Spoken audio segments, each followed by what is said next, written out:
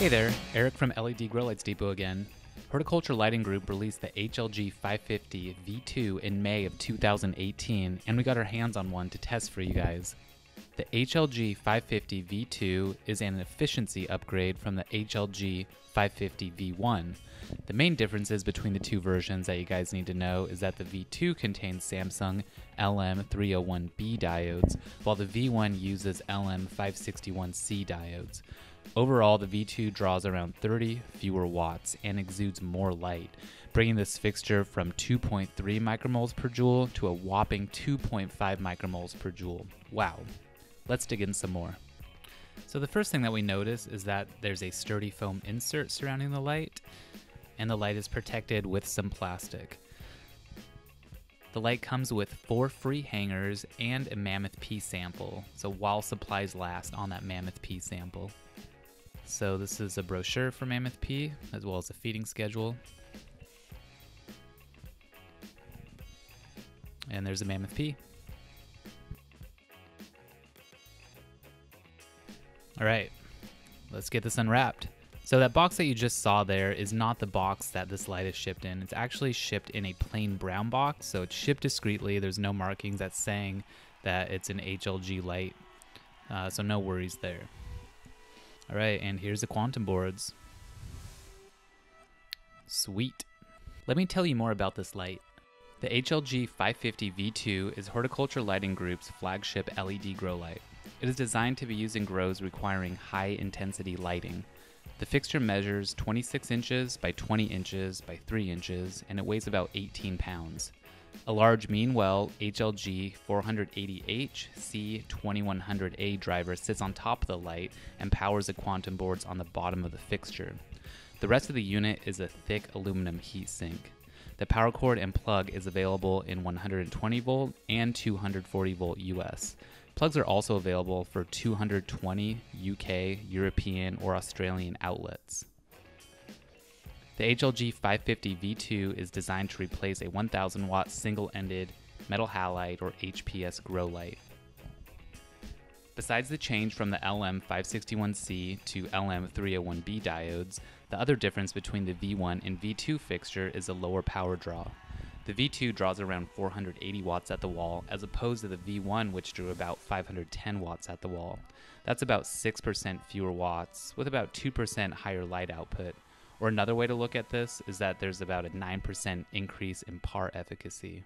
There are 1,152 Samsung LM301B diodes across the entire fixture. The quantum boards are made by Samsung and each contain 288 diodes. The diodes are top flux bin and top voltage bin, the PAR efficacy of the unit is a staggering 2.5 micromoles per joule, so anything above 2.0 micromoles per joule is considered efficient and is almost standard for LED grow lights these days. So 2.5 micromoles per joule is really pushing the upper limits of white diode technology at this point in time.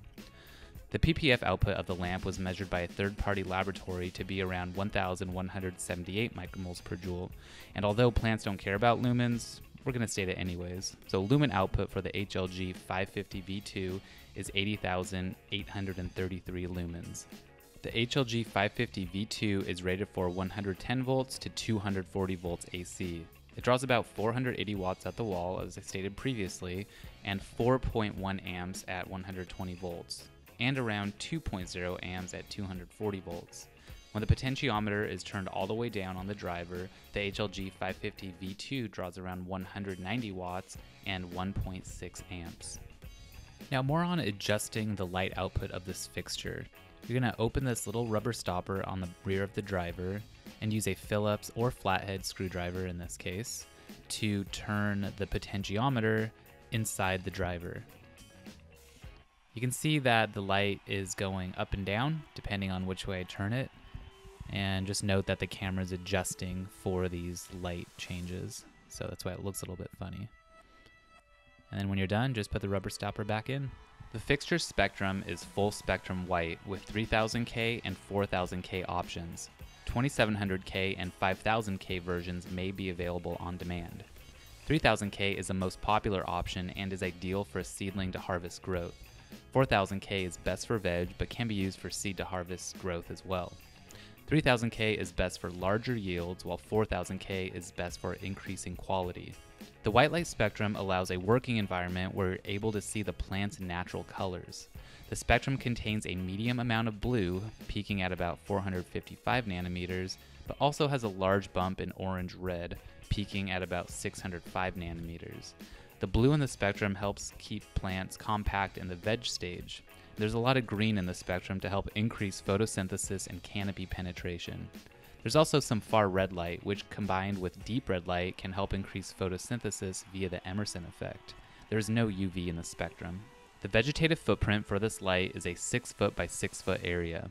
The flower footprint is recommended for up to a 4.5 foot by 4.5 foot area. I would say that this fixture does a solid 4x4 area, but it could be used in up to a 5x5 foot space.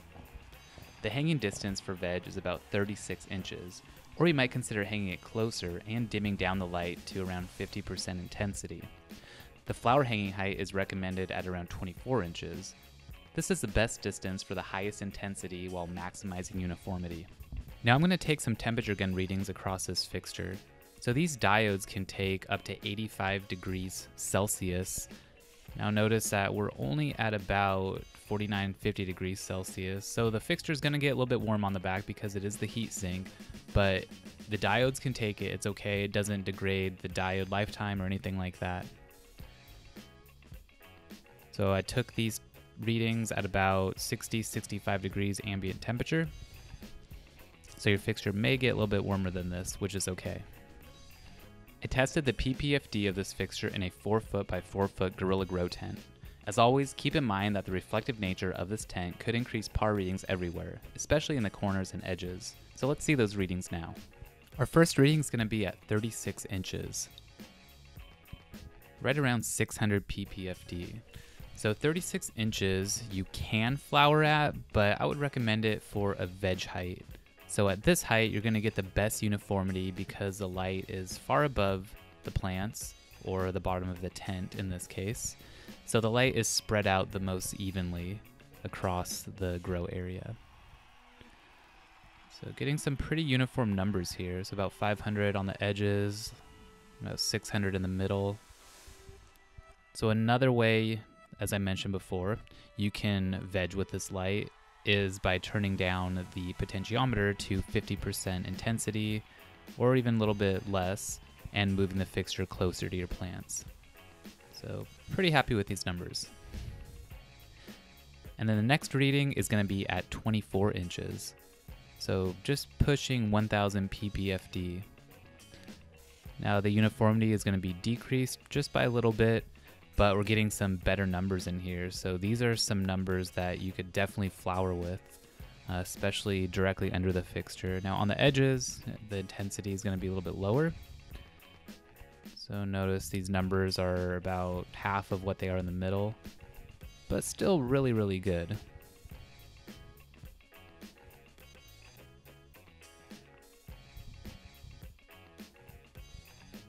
Right, almost a thousand right there in the middle. Now you can probably hit a thousand depending on uh, what sort of environment you're in, uh, whether it's more reflective or if you're using a different par meter. So this reading, or excuse me, this meter in this tent showing me about a thousand ppfd.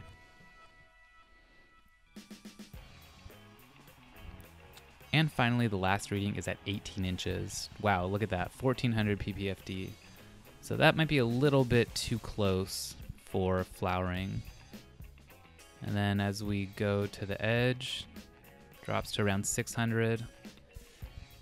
And in the corner, which is always the lowest, right around 400. So in this case, the uniformity is the lowest that it has been between the other distances. And the intensity might be a little bit too much for flowering. I probably wouldn't go over a thousand ppfd unless uh, you really know what you're doing. and you know are using CO2 in this case. But once you get over a thousand, you're really starting to push it and could potentially burn your plants. In the rare case that you have a problem with your fixture, the Horticulture Lighting Group HLG 550 V2 comes with a three year manufacturer's warranty. The fixture is assembled in the United States. The MSRP on the HLG 550 V2 is $1,049 with free shipping in the lower 48 states and no tax. So check out ledgrowlightsdepot.com for any discounts and the best price guaranteed for this fixture.